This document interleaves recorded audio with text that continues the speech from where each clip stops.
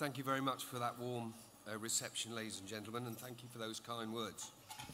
Um, welcome to the 25th Excuse me, uh, sorry to uh, interrupt, John. Um, you remember me? No. It's not usual for a humble GP to interrupt a revered consultant, is it? No, not at Um, all.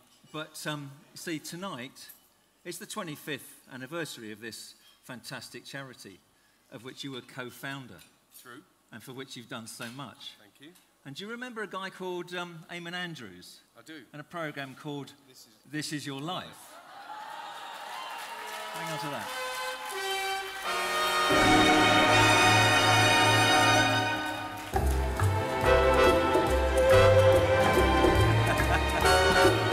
well, before we go any further, could I ask Esme to come and join us on stage? I don't think she should be forgotten. You know, this guy's worked so hard, he hardly ever sees his wife for 25 years. So, Esme, please come up and join us on this wonderful occasion. Thank you, Esme. He just wants to get on with his speech. I'm not going to let him. Well done, darling. Right. John, tonight, we're celebrating the 25 years, quarter of a century. Your co founder and inspiration behind the charity. Tonight, we'd like to pay tribute to you your dedication, your hard work, your skill, your passion, your compassion, everything. So, do you remember back in 1994, you made a promise and a commitment to the people of the Midlands and the Get A-Head charity?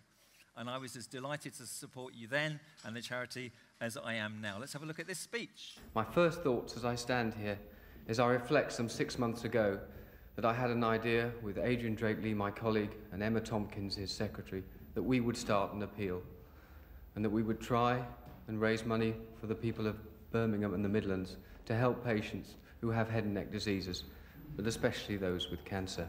I need your help. One thing's for sure, I won't let you down.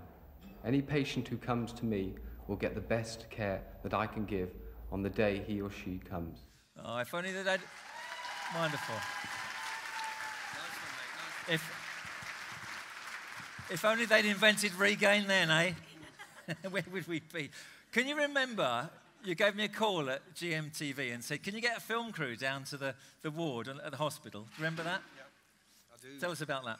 Is this what? Yes. Yep. Um, well, we hadn't really done anything like this before, but all of a sudden things came together.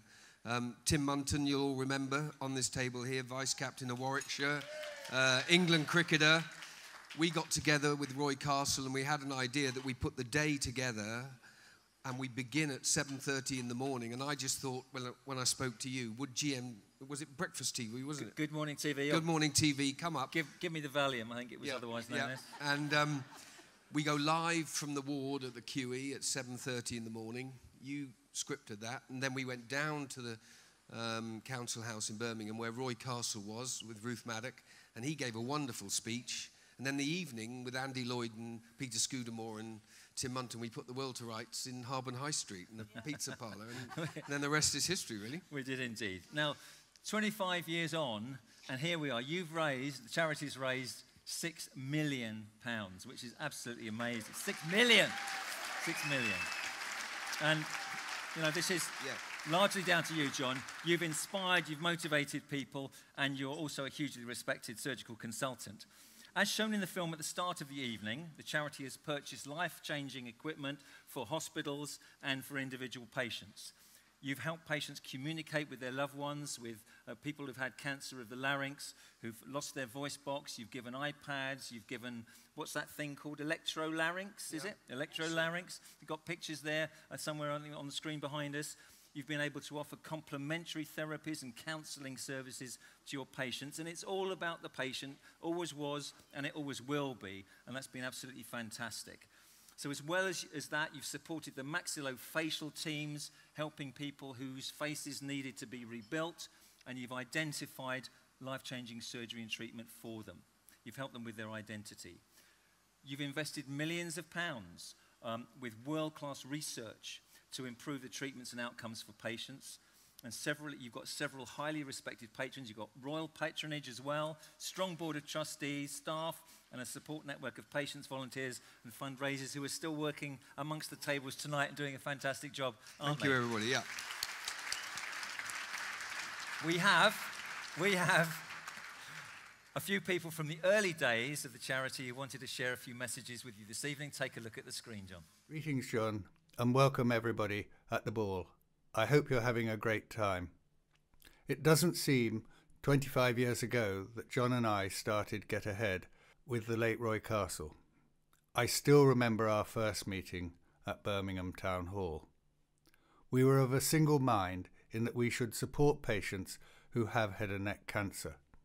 And one of the first things we did was fund a counsellor, and after three years, the NHS took this post over. It allowed us to develop the charity, and I'm pleased that John too has continued this. I wish everybody has a great time here tonight to support this important charity. My wishes are with you, and I regret that I cannot be here in person. Good night and have a good time. Nice one. Nice one. Good evening, everybody. Good evening, John. We go back many, many years, don't we? You've always been a hero of mine ever since you were running around as a, a very, very good hooker for Belmont Abbey School. I was there just as a youngster, but even in those days, uh, I looked up to you. One of the most poignant moments of my life, I think, was walking around with you in the Queen Elizabeth Hospital. You took me into a room and you said to me, look at those people, what's wrong with them? And I said, well, nothing. And then uh, they took off a bit of their side of their face and uh, I could see the great work that you had done. And again, one of the great honours I had was to be asked by you to be part of the Get A-Head charity. Uh, not only was it an, an honour, but it turned out to be tremendous fun. Anyway, have a wonderful evening, John. I'm sorry I'm not there, but uh, you know, a lasting life friendship is one of the things I treasure. Have a good evening. Good evening, everyone. Good evening, John. John and I met each other, I think it was back in the 90s, when we had a splendid time at the famous Jonathan's restaurant with Esme and himself and my wife Janet. What a terrific evening that was. I've had the pleasure I think it's the pleasure, yes, it is the pleasure of seeing John operate. Absolutely inspiring, absolutely inspiring. What a wonderful guy he is. John has been a good friend, not only to me, but to the family, my friends. His advice and help has been absolutely wonderful throughout the years. All the very best, John. You're an amazing man. Thank you very much. Hello, John. Val Spittle here. Congratulations on your 25th anniversary ball. Here is the programme from your first ball, held at the Botanical Gardens in October 1994. I joined you and Adrian just after that as your first appeals director, and over the next 10 years, we had some great fundraising events. These included the annual Chase Midland Cricket Day, where Tim Munton mobilised all the lovely Warwickshire boys to be our celebs. These events continued to be held annually with the support of some great sponsors and helped to raise the profile of the appeal. Have a wonderful evening, and I'm sure tonight will be a great success. Good night. Um, I, I, th I, think you've garnered some fantastic support over the years. What would you like to say to just some of them? Well, to everybody up there, but to everybody in this room, really, um, you've made my day. You've made my 25 years. I couldn't have done it without you. And, I, and when I started, I said I wouldn't let you down and you've ridden the waves with me. You've answered my phone calls. We've all got together, trustees, patrons, working together, realizing that it's all about the patient and what goes around comes around. And um, for me, as, as Tom said, it's onwards and upwards. And um, it's good night, God bless, but not goodbye. Absolutely. Now, you say it's all about the patient, so it's only fitting that a few patients would like to pay tribute as well. Good evening, everyone, and uh, welcome along. I hope you have had a very enjoyable night tonight at the ball. And good evening, John. Welcome to you and best wishes. My name is Paul Darby. I got to know Mr. Watkinson in 1998 when I became a thyroid patient of his at the Queen Elizabeth Hospital. I noticed the standard of treatment that he provided was totally different to the treatment I'd received previously. It was like moving from uh, the lower league of football to the World Cup qualifying groups. He treated a lot of patients and also a lot of my family members. I can't thank him enough for prolonging my life and also a lot of other people as well. He's an excellent medical person, he's got wonderful patient skills and he's very, very contactable. I just want to wish him all the best. If anybody deserves an award or a medal or anything like that, this is the man. I think he's the greatest man on the planet. Thank you very much, John, and have a great night. Hi everybody, hope you're all having a great time at the Get A-Head Charity Ball. Um, sorry I can't be there, but we'll be travelling. Um, I'm more than happy to make this tribute to John, who's been a fantastic uh, member of Get A-Head from day one, 25 years. He's done so, so much for the Get A-Head charity, and I'm glad that somebody's recognised it and made the evening his. So we uh, first met John, I think it was around about 98, 99, when my wife Janet got ill. We were referred to John, and uh, uh, she had a very serious illness, and John, of course, did the business, and she recovered, and she had a great life. And John was so attentive uh, to to Janet's needs, and uh, it was a bit more than just operating and the consultancy after. There was a lovely human side to, to John's nature, and uh, for example, he would sit on the edge of a bed with her of a overnight after the op, hold her hand, and uh, you know talk to her, you know, talk through things. So have a great night, John, and, and from all my family who know I'm coming here today, they'd like to thank you uh, from the bottom of our heart uh, for giving us um, some quality years with Janet, where she saw uh, a lad go to university and uh, saw a grandchild born, and uh, it was just so we were so indebted to you, and, and we just like to say a big thanks and enjoy the night and get drunk. Bye, John. Hello, everybody. Hello, John. Um, we first met in 2011 with my diagnosis um, in a hospital room. I've got to know you since through the charity Get A-Head. Um, met some wonderful people and it's great to be more involved as a thank you. The story that most sticks in my mind about you was my second operation. We were in the anaesthetic room and I was, well, I was really nervous, shaking. You came over to me, said, Oh, are you nervous? I said, Yes, and you shook your hands and said, So am I. which just made me go into hysterics and feel so much better. Um, you've been wonderful, you've had a sense of humour and saw me through everything and I will be forever grateful. Thank you. Thank you, Loretta. That's wonderful. I mean, it, it is, it's all about the patience, John.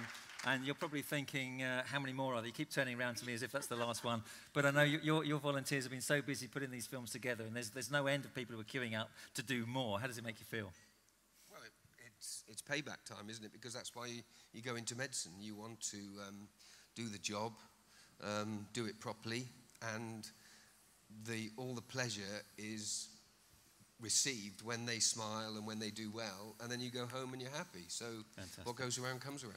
Fantastic. And of course, you've motivated and inspired many people to have been involved in the charity over the 25 years. Here's a few tributes from them. Oh, dear.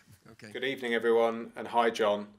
John, you'll remember when we first met, you'd very successfully treated my twin brother, Edward, who's in the room tonight, and then it was my turn. I, of course, fainted and passed out and fell on the floor when you entered the room and told me I needed surgery. However, I needn't have worried, as you did a fabulous job and went on to operate successfully on my three children, Jack, Maddie, and Ted. From there, of course, I got very involved in the charity Get A-Head, which you founded and has gone from strength to strength, mainly because of you. Have a great evening, John. Onwards and upwards. Hi, John. Hello, everyone. Hope you're having a great evening.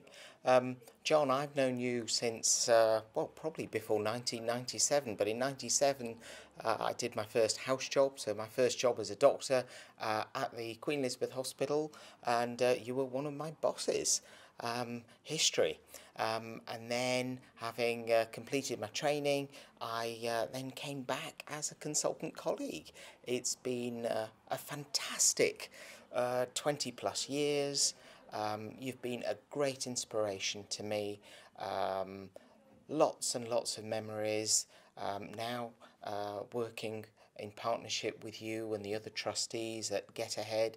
Uh, it's been a real experience, and I look forward to many more decades together. Um, you've uh, been an inspiration, you've been a role model, and uh, I hope you have a fantastic evening. Thank you. Hi, John. I didn't realise that when I came to you for treatment in 2009 that part of the payment for that treatment would be agreeing to be the financial trustee at Get Ahead. Anyway, I'm very happy to do that role, very happy to still be involved with the charity and with you personally. Thank you for everything you did for me back then. And you were definitely right. You were the only medic that said to me, you'll still be able to drink wine, still be able to drink champagne. So thanks for that. Good evening, everybody, and good evening, John. Um, this is a special dedication to you this evening um, for all the fantastic work you've done. I first met you in 2013 when I started um, the most amazing job ever as charity manager for Get Ahead. Working for the charity on a day-to-day basis we meet uh, so many people and speak to so many people whose lives you've touched. Uh, it's a real honour to be involved with the charity. Um, it's wonderful when people ring us up and sing your praises um, for all the things you've done for your patients. But not only that John the amazing work you've done for Get A-Head. To be here celebrating 25 years is such a remarkable achievement and hats off to you John um, onwards and upwards. Well, well John you can you can still lo- drink longer? champagne and you can still drink flag. wine. That's the kind of doctor I want to yeah. be registered with. Uh, listen, Thank you've you. motivated an army of volunteers and helpers. You've done a fantastic six million quid, 25 years, absolutely fantastic. But of course, the people who are perhaps most proud of you, a lot of whom are here tonight on different tables, are your family. Esme's here, and a lot of your family are here, but they're so proud of you. And they also had some final messages for you, and we'll put you out of your misery after this. Have a look. Please, please. Good evening, everyone. Welcome. Thank you for coming and supporting the charity. Hi, John.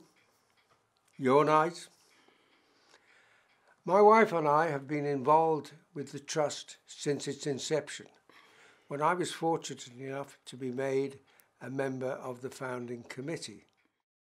Our family are tremendously proud of John's inspiration, supported by Adrian Drake Lee, to found the Trust and of his subsequent achievements as a surgeon. Our holidays were spent at Brixham. John used to bring home samples of unusual fish, pin them to the breadboard, and then dissect them to display the, the skeleton with all the organs in a row alongside. And he'd then declare, Someday I'm going to cut people up and during his time as registrar at Guy's Hospital, the famous head and neck surgeon Omar Shaheen was to tell us that he was filled with awe when he watched John doing a thyroidectomy and that John had magic in his hands.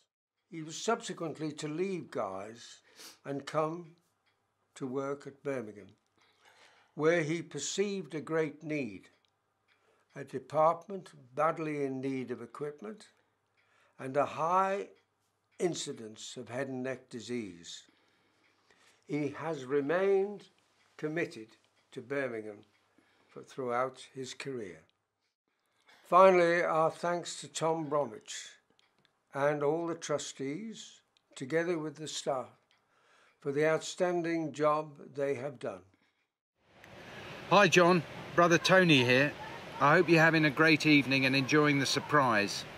I just want to say how proud I am and always have been of my big brother. You have achieved so much, but then I always knew you would. I remember when we went to our new school and you won the senior cross country by such a long way. Not only did you have talent, but huge determination and drive. I want to thank you for being my inspiration to also study medicine what a great role model you have been. Love you loads, mate, and have a great night. Hi, everyone. Hi, John. Can't believe it's, it's 25 years since you came to Birmingham and you started this wonderful charity. I'm so proud of you, John. You've done wonderful work and I really can't tell you how proud I am. I remember as a little girl, probably 10 or 11, watching you dissecting insects in the, in the shed in the garden. And it was always your dream to be a surgeon. But what you've, what you've done and the charity you've created and the lives you've changed, I'm so proud of you. Love you, John. Good evening, everyone, and uh, hi, Dad. Um, so I thought I would talk about uh, a moment for me that stands out when I kind of think about the history of Get A-Head um, and my dad as a person, really. I remember my dad came home one day and said that on Saturday uh, I could go with him to visit Cher in her hotel room. So, uh, needless to say, I spent the entire week practicing my tribute act to Do You Believe in my very best Cher voice. But when we actually walked into the room, I was totally starstruck. I remember thinking that um, she looked like uh, some kind of mermaid with her hair stretched out on the pillow, and uh, I bottled it. Um, as soon as we walked out of the room, I promptly burst into floods of tears, uh, at which point my dad calmed me down, took me back into the room, and uh, second time lucky, I sang with gusto. When I think back to it now, the thing that I remember most is how important my dad was. Um, and when I say important, I don't just mean uh, highly respected, although obviously that's true as well. Um, I mean valuable. So, you know, my dad's always been my hero, but growing up, it's been amazing to realise that he's also been a hero for so many other people. Uh, he has this amazing ability to make you feel safe in the scariest circumstances and to hold the world together when it feels like it's falling apart. Thanks. Lots of love, Helly. Hi, everyone. Uh, my name's Will. Uh, I'm John's son. Just uh, wanted to say a few words.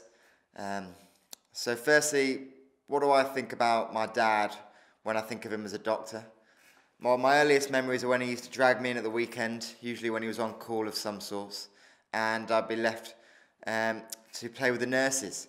And what I, from what I remember is the nurses used to tell me how much of a fun guy my dad was.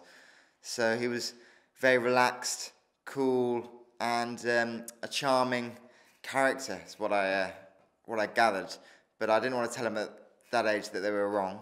What do I think of my dad as a doctor is is some of the things that he's taught me over the years.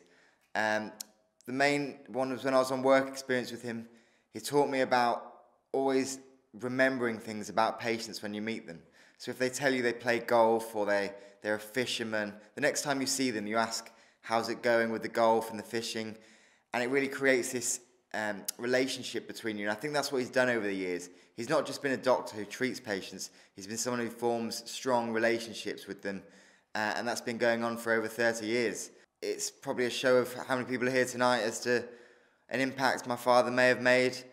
And have a good one. Thanks very much. Hello. Hello, everybody. Um, I'm very excited to be here. Uh, Louise asked me to say a few words, darling, about you. So here we go. Promise I'll be polite, of course. Um, John and I met in 1981 over a dead body in the anatomy room at the Royal Free Hospital. John liked to be the anatomy demonstrator to my year at the hospital. Uh, we got married in 1986 and we had two children and we moved to Birmingham in the autumn of 1992, just after William was born. I've always found that he always comes to the rescue. so I suppose one time for me that reiterates just how good he is in difficult situations and how he always rises to the occasion was when my dad was very ill um, on a family holiday in Sicily and we realized that the stomach bug that he had was actually cancer and we had to get him home. And most people probably wouldn't have attempted that flight. It was difficult. And John said, Don't worry, darling, we will do it. We will get your dad home. And on the flight, it was difficult, and John just rose up, helped my dad, get him home, and there we were. So I've always been able to trust him in any situation to do his best, never lets anyone down, and that's why people think he's marvellous. So, darling, you really deserve this tribute for Get A-Head because We're very proud of you as a family. I think you're marvellous, and so does everyone else, and that makes me very happy to be part of this today. Thank you. Thank you very much, Lee. Well, John, um, I hope um, I hope you're getting a gist of how much uh, people love you um, after those tributes. Um, it, they speak for themselves. You deserve every single plaudit you've got. For me, I'm not family, uh, but I feel like I am sometimes, and it's been a privilege and an honour to be uh, to know you as a surgeon, as a counsellor, a philosopher, a drinker, and a friend. Thank you. Um, and long may it continue. Thank you very much. Um, so well done.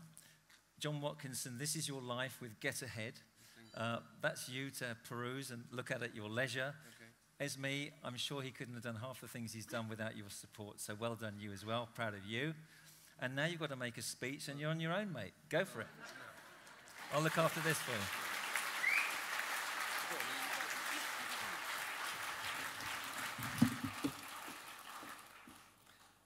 Well, I wasn't expecting that. And first of all, thank you very much, uh, Hilary, for those kind words. And really, what, what he's just done is taken the wind out of my sails because the, um, the film says it all, really. I was just going to stand up and say what a privilege it's been over the last 25 years to work in a, in a centre where we've established and, and broadened the approach to patients with head and neck disease and cancer. Um, I've had fun along the way. It was Roy Castle who took me to one side and said, Look, boy, you need some money in your back pocket if you want to make a difference. And I've always kept that in the back of my mind. Um, I've nurtured uh, trainees, we've looked after the nurses, educated them, we put the funds back into Birmingham and beyond, and I think we're now a regional charity with a national profile, officers in Solihull, officers in the QE, and for me, everybody in this room, I'd say thank you for coming tonight. I thank my family for those tributes. I think we're going to go from strength to strength and uh, just enjoy yourself tonight. Have fun, onwards and upwards. And as I just said to Hillary, it's good night, it's God bless, but it's not goodbye. Thank you very much.